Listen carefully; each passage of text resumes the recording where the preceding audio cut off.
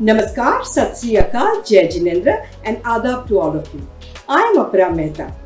Friends, I have been noticing that children these days are using a lot of their phones, gadgets, etc., which is somewhere making them dull and also not contributing in any way in shaping their characters. Children have stopped using their creativity and they are not learning any skills required for a better future, which is actually very alarming. The only asset that we can give our child is his or her uniqueness, and that is possible only and only if we develop qualities like confidence, uh, leadership, self management skills, along with the best communication skill. Now, the question is where do you get a bunch of such elaborate activities and learnings? Well, I bring to you the Talk Room.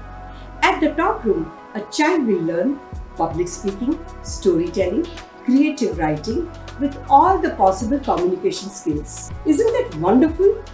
So go ahead and empower your children by enrolling them here at the Talk Room.